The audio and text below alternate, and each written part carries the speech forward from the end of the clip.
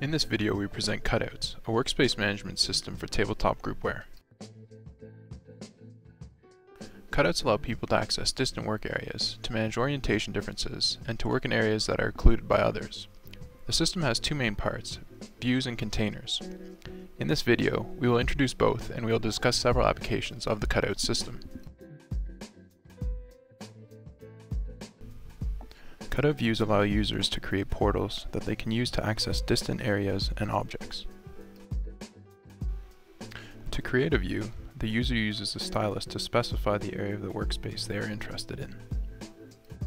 When the stylus is placed on the view toolbar, a user can drag the view to a new location and can rotate it by twisting the stylus. Note the changes in the position of the view do not affect the objects in the original reference area. When the user directly manipulates objects in the view, the changes are applied to the objects in the reference area.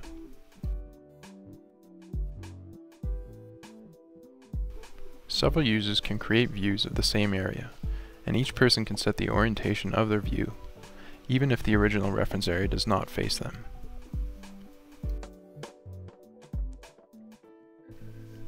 All changes that are made to objects in the reference area automatically propagate across all views. Users can make changes to the area that is displayed in the view, even if they don't have easy physical access to the original reference area. The reference area size can be changed by dragging the resize button. As the size changes, new items are added and removed from the view.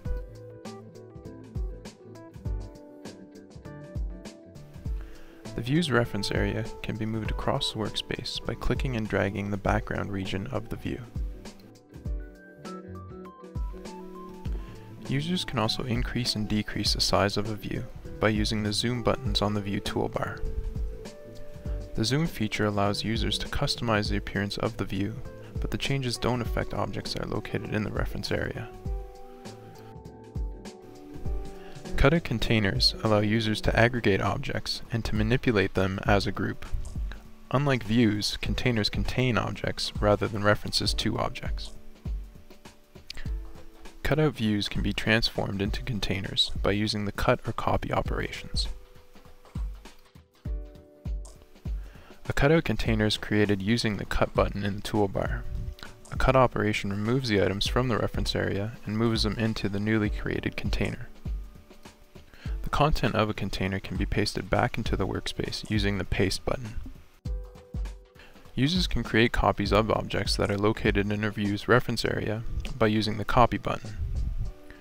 Unlike the cut operation, copy does not remove the original object from the reference area. All operations that are performed on a container, such as rotation, translation, and resizing, are also applied to the objects inside the container. Here the container is zoomed out to reduce the size of the images. When the objects are pasted back onto the table, they retain the new size.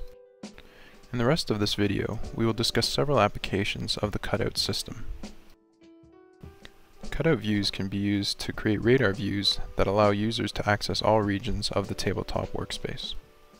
Here, large views are created that include most of the objects on the table. Views are then zoomed out so that they fit into each user's personal work area. A user can then interact with objects in the reference area using the radar view.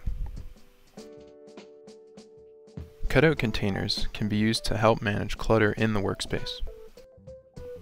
Here, a cutout container is located in the center of a cluttered table.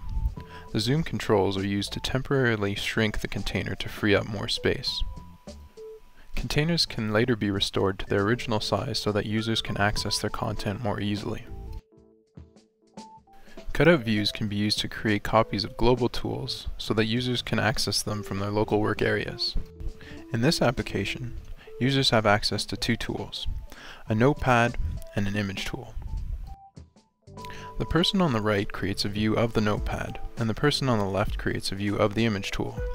They are then able to interact with the tools, even though they are physically out of their reach.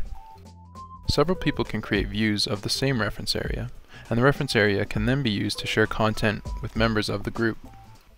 Here, people are trying to devise a storyboard using images and freehand drawings. The person sitting at the end of the table places a series of images in the reference area and proposes a story to other group members. The other users watch his actions in their local views.